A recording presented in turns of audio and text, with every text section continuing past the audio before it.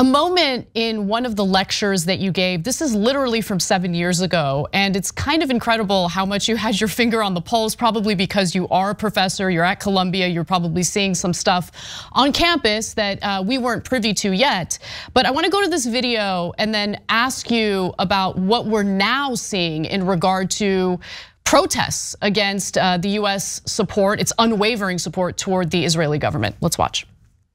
38% of young American college age Jews who were surveyed um, feel that it's difficult or impossible to defend Israel. It's indefensible. I mean, that's a, that's a striking and strange number. And uh, obviously, the American political reality doesn't reflect that. Obviously, um, American media doesn't reflect that. And it, neither of them will for a very long time. But if that's what's happening at the base, if that's how people perceive things. And we're not talking about an uninformed public. We're not. We're talking about college age kids. Uh, then uh, th th there's going to be there there are going to be some serious problems for this project. So that was again in 2016, seven years ago, and you were uh, referencing a poll that was conducted by Republican strategist Frank Luntz. Uh, he was right. doing this poll for a pro-Israel conference that he was um, going to do a presentation at, and I think he was probably surprised at what he was seeing in the polling results. What are your thoughts on what we're now seeing among college students today in the United States? And do you think that this movement can grow to a point where maybe the Democratic Party sees the unwavering support toward the Israeli government as a political liability. Well, let me say something before I talk about the change that's going on at the base of the Democratic Party and among young people generally.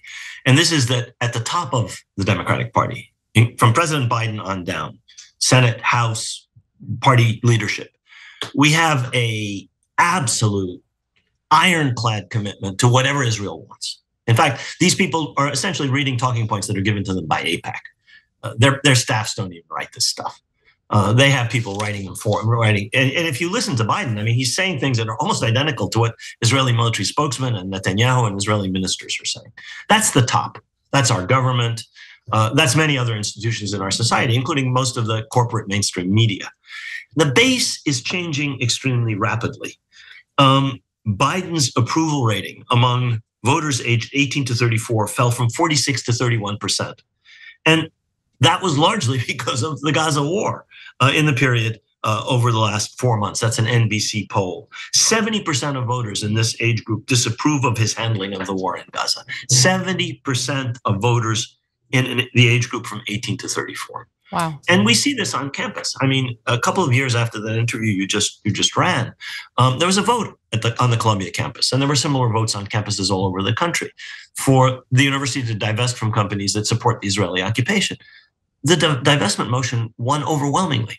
The university administration treated the vote with utter contempt in a in a in a dismissive, arrogant fashion. President Bollinger acted as if this was a bunch of gadflies um, it was it was disgraceful the reaction of the administration. There was no respect whatsoever for the students, and we there's been no change in this or other administrations. That's how very large numbers of students, Arab, Jewish, uh, uh, minorities, uh, students from all backgrounds, feel uh, about this issue. Uh, the numbers that these polls uh, have, have, been revealing over the last seven, eight, nine, ten years are where young people stand, I think, overwhelmingly all over the country, not just on college campuses.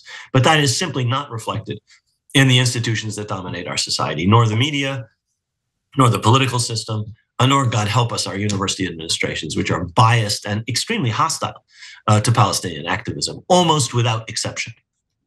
I mean, look, you're absolutely right about that disconnect. And what I'm wondering is at some point, what the people in power are going to have to realize is that it is going to hurt them. It is going to hurt them politically. And even Biden, I mean, in an incredible admission, members of his administration in a recent uh, Washington Post piece talked about how, uh, you know, the political liability of going against AIPAC is very real, but now all of a sudden we have a sizable portion of the, you know, Michigan population consisting of Arab Americans who came out to vote for Biden in 2020, and it was an important uh, uh, population within a swing state that Biden absolutely needed. Now Arabs are saying, listen, we're going to sit it out. We're not going to support Trump, but we're not going to vote for him. But we're just not going to vote for president because we don't agree with what Biden is doing. And I sympathize with that. You know, I'm Armenian. I, my ancestors went through a brutal genocide committed by the right. Turks. And I can't watch what's happening to the Palestinian people in Gaza and with a conscience cast a ballot for any presidential candidate that will continue the barbarism that we're seeing on our television screens, on our phones every single day. So, what would your advice be to American voters who find themselves in this conundrum? I mean, we're in a really difficult situation. This man has endorsed the Israeli plan to continue to attack the population of Gaza until they feel they've quote unquote eliminated Hamas. An unreal goal, but let's let's go with that that uh, uh, objective. So the, this is an American-Israeli war.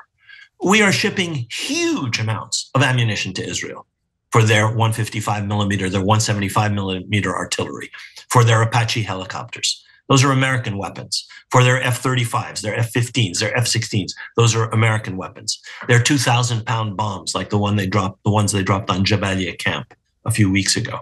It's an American Israeli war. The president is about to get, when he eventually can get it through Congress, another $14 billion of essentially more bombs and more replacements for the weapons that may be used up killing Palestinians.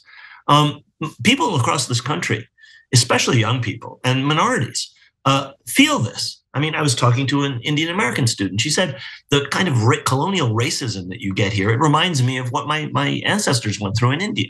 African Americans say you go to you go to Palestine and you feel like you, you, you're what your grandparents told you about Jim Crow and segregation in the South. I mean, each each part of the American population, especially younger people, are sensitive to these things. And how we vote, I'm not young, but how people who feel like I do and you do vote is going to be a real problem.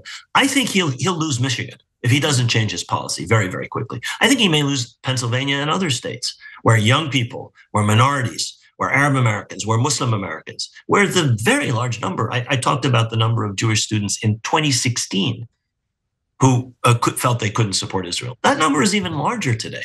I think Jewish Voice for Peace on some campuses has more supporters than, than the groups that support Israel among Jewish students. Those people won't vote for Biden, or at least are going to have real difficulties uh, voting for Biden. Uh, most of them won't vote for Trump, of course, but that may hand this election, God help us, uh, over to Trump. So it, it's a dilemma, and I, I have no answer for it. But I don't see how I could vote for this man. I mean, he's going killing people. I, my niece's family is in Gaza. Mm-hmm. Uh, they're in danger every day and uh, many of my friends are there. I know people who are there. It's it's it's something that you simply cannot abide. That we are participating in this slaughter. Yeah, well, I, I clearly share that dilemma with you. Hey, thanks for watching that video. We really appreciate it, guys. And we appreciate it if you become members because that allows us to be independent, honest, progressive, all the things that you don't get from corporate media. And all of that is because of you guys. Hit the join button below and become one of us. Become a young Turk.